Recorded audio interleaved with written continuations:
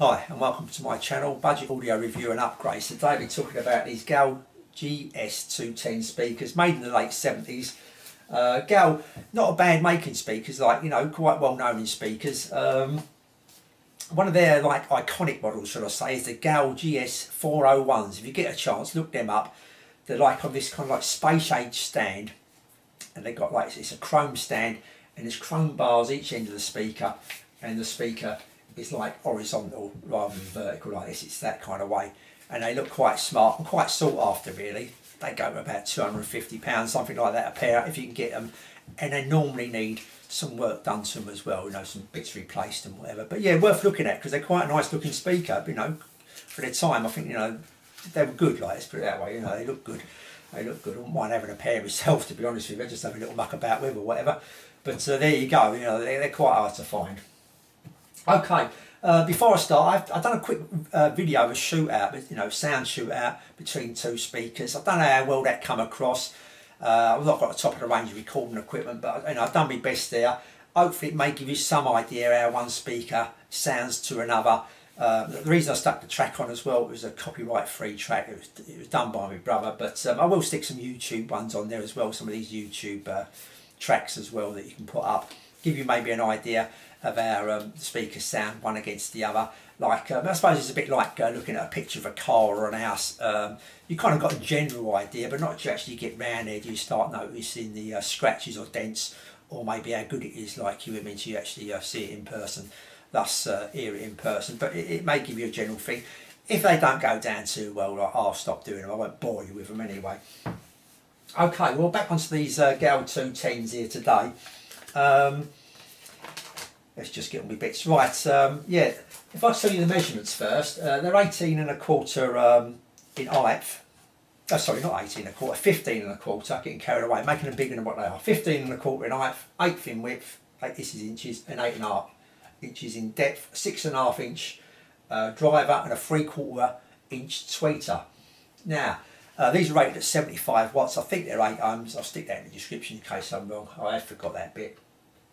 Um, as usual, I take them apart. Just before I take them apart, I want to talk about budget speakers in general because I've had a, a, bit more of a think about budget speakers. Because uh, I, I, took the Wolf Wharfedales apart, the diamonds, these were quite cheaply made and something else was better made and something. But I think the clue was in the actual title, budget. They're not going to be unbelievably well made for a budget because if they're really going to be well made and there's good stuff in them, they're not going to be £60 though, £70 new. They're going to be £500 new, that kind of thing. So yeah, maybe I should, you know, not mention so much how well made they are, but it is nice to get one that is well made because you think, you know, some, some effort's gone into it. You know, they've kind of like not just got a few bits and slung it together, so to speak. But um, yeah, so yeah, just just what I think, you know, probably what you know budget really stands for, probably. Let's have a look at these. There's a, before you know, this is a picture of the tweeter here before I took it out, and what I did notice is, you know, the tweeter's nice and recessed. It's, it's, they took a little bit of time there to actually put the tweeter, and the same with the uh, the, the woofer driver, mid-range driver, whatever you want to call it.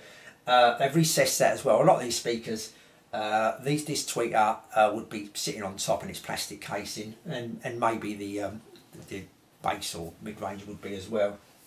So just a little bit more effort's going into there. It would have took them a little bit longer to do that. I would have thought cutting it out the uh, out the wood and whatever. But anyway, we take the tweeter out. Uh, if we have a look at the tweet, it's made by uh, VIFA, FIFA, VIFA, something like that. Uh, I did look these up as amps because I weren't 100% certain. I must admit, obviously I'm learning as I go along as well.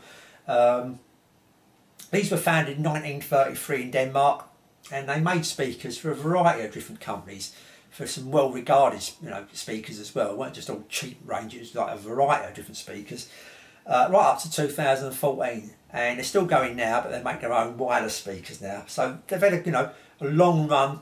You know they're no mug, so it wouldn't be going that long if you was rubbish, like you know what I mean. So they, they made some you know reasonable quality stuff, I would say definitely, if not some good quality thereabouts kind of thing.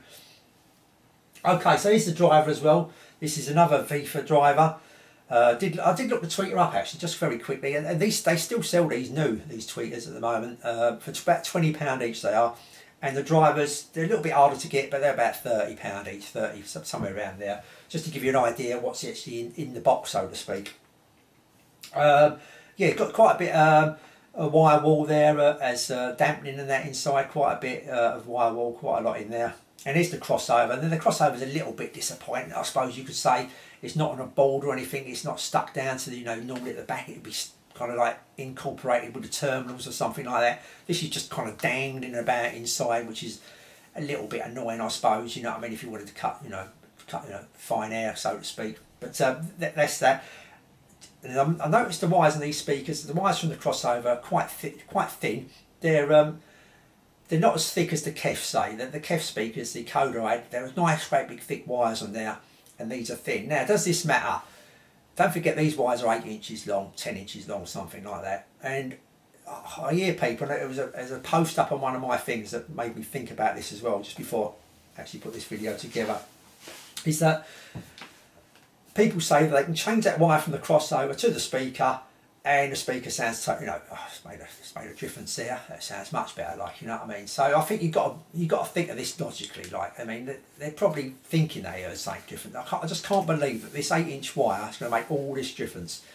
Uh, if it made that much difference, you've got to think that piece of wire would have cost the company that length, five pence something like that. I know all the pennies add up, but five. So they think they say, well, we're going to make a mediocre speaker, but for five p extra, we can make a really good one. Which one we want to go with? Well, we'll go with a mediocre one, make an extra five p. You got that, but then you've got to think about it now. From your amplifier to your speaker, you've got a, a, a flex of wire. It could be two or three meters, whatever. And it, I, I ain't going to argue which what kind of wire you use there. It could be a right pucker wire, a million pound an inch it goes all the way to the crossover and it gets that crossover. If you notice this crossover, they've got coils on them, resistors, etc. Now that coil there against this speaker wire, see how thick it is? It's pretty much the same thickness and they're going to be the same with all the coils. It, it, a coil ain't going to be, for, the higher frequencies, ain't going to be a great big thick one. It's got to be a, a thinner one. And uh, same with even the lower frequencies. It's going to be a thin wire. It's not going to be a great big chunky wire. And that, that coil, un, unwind it and that what that lead is going to be about three or four meters long. So there you go, you've got a little piece of thin wire that you're all against and it's three or four meters long. So it's gone all that way and that last eight inches you're going to put a great big meaty cable in there and that's going to make that speaker sound fantastic. It's, even though it's gone all that way and that little thin wire around that car. A bit like going on holiday really. You set off, you carry your bags to the airport, you carry them all around with you and everything. You carry them from the airport right up to the hotel and the geezer at the hotel, the waiter comes along, he grabs your bags and takes them upstairs, you give him a fiver. He's, he's, he's probably took them 50 yards. What difference has that made? You might as well just carry them up yourself. So it's that kind of logic I'm putting here. Like I just cannot see that that last little bit of wire is going to make all that much difference. But there you go, my opinion. If you've got any thoughts about that, maybe put them in the comments. I like to be proven wrong. Um, say what you want in the comments, you know what I mean? That's what they're there for, like, you know what I mean? It's, it's all about having a bit of fun with me and whatever, and just, you know, just speaking what you think kind of thing, you know what I mean? Anyway, let's go with the sound. I don't want to cause any arguments. I'm not here to cause any arguments. I'm here to be like, like I say, to try and advise and um, give you an idea what things sound like for that kind of money. Like, you know I mean? I, if anything's rubbish, I do so. It's only my personal opinion. If I think it's, I say rubbish, it's not that good. I wouldn't say anything's rubbish, but if it's not that good, I say, I don't think it's that good. I think you could probably do better kind of thing. And if I think something's pretty good, I think, well, you should bear this in mind for what you're paying. It's not a bad item, so to speak. These speakers here, I'll, I'll, place them downstairs in a few positions, but the position I'm going to kind of like maybe talk about a bit more is where I actually actually placed them on the table. I've done that sound test with about it's about 12 inches away from the wall. Uh, I just want to give them a little bit of air from the wall, but of course, if you're going to have a bookshelf, they're probably going to be a bit closer.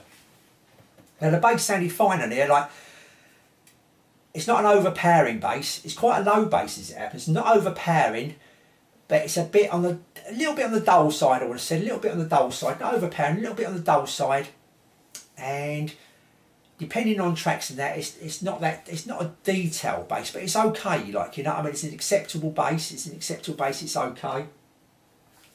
The vocals were good. I thought the vocals were pretty good on this speaker. They come out it was in the room with you kind of thing. They, they projected forward the vocals. They sounded quite nice the vocals. So on the vocal side male and female I thought they sounded pretty good. You know, for, you know, for what they are, they sounded pretty good. Now the treble, these are quite high in the treble. They're quite high. So if you've got a an amp that gives up, you know gives a bit of a high amp, I'm trying to think of the word, I forgot the word is anyway, you, you know what I mean, the, the amp's giving a bit too much treble out, then probably not going to be suitable with these speakers, you'll be turning that down because these are quite, you know, the treble comes out quite high, like, you know, I mean, the high frequencies are, are very present on these speakers. They're quite detailed-ish, you know what I mean, they're quite detailed, the treble. You get some nice bits and pieces like, you know, when they do the triangle and stuff like that, they're, they're quite, they sound nice, they sound okay, they're, they're quite, maybe a bit too much, a bit too much forward, the treble, maybe a bit too much forward, but they're a bit on the splashy side as well, a bit on the splashy, not, you know, like for instance, I mean, they're, they're good when you get geezer going around on the drums and he's giving it a bosh on the splash cymbal, you're going to hear that splash, it goes, it's, and it's an explosion of splash. But where the splash would fizzle out, you're not quite hearing that on these. It's kind of just a, you know, and that's it. Like it kind of stops quite suddenly, so to speak. But it's still quite nice. It's just this speaker's a bit on the treble, so like you, you may be tempted on quite a few amps to, to knock your treble down a bit. But other than that, it's a bright sound. It's a very bright sound of these speakers, very bright. So like I say, you know, that's the probably what I was looking for. If you've got a bright amplifier, they're not really going to match up with these speakers. If you've got a dull amplifier, then this is going to help a lot. I know you've got the controls bass and treble to, to move things about, but if you're going to have to turn the treble straight down one or two notches, you, that, the rest of that gauge from that side all the way around is pointless. You know, I mean, you, are not ever going to use it, kind of thing. I think you know, you, I like having um, an amp we can go either way. You know what I mean? You're kind of like where you want to be, maybe, and go forward a little bit if you want to go back. You've got a bit more like room there to manoeuvre. So if you've got a dull amp, these are going to liven it up definitely. You know, I mean, these are a bright speaker. You know, the crossover is not much to that crossover, and uh, I keep saying it. At some stage, I may change some of these capacitors and some of these speakers I've got and see if that that helps or not. But all in all, for what you're going to pay, I paid £32 for these on eBay very recently. Actually, I paid a little bit less, I had a voucher, but anyway, £32. And that's what you're going to pay. I've seen them go to 20 I you know, 30, 35, something like that. I wouldn't pay no more than that, I would have said. Uh, but other than that, you know, for that kind of money, you're not getting a bad speaker, you know what I mean? They're not a bad speaker at all, you know what I mean? They're, you know, they're, they're worth an audition, that's for certain, you know what I mean? Keep them on your shortlist. If you're picking up these for 10 or 15 quid somewhere or something, you know, definitely grab them, like, you know what I mean? They, they are, a, they're a change, you know what I mean? They're a little bit of a different speaker, so to speak. Okay, so um, yeah, I hope you enjoyed that. I'll come back with a few other bits and pieces. I'm, I'm going to do a few tuners. It's, it's, so much stuff I've got here. I've got to get rid of some of it. It's so hard to let go, but I'm going to have to do it and uh, get them on there, get them out of the way, and I can go and get something else, etc., and uh, keep the channel going. Okay, until then, I'll say thanks for watching, and I'll see you all soon.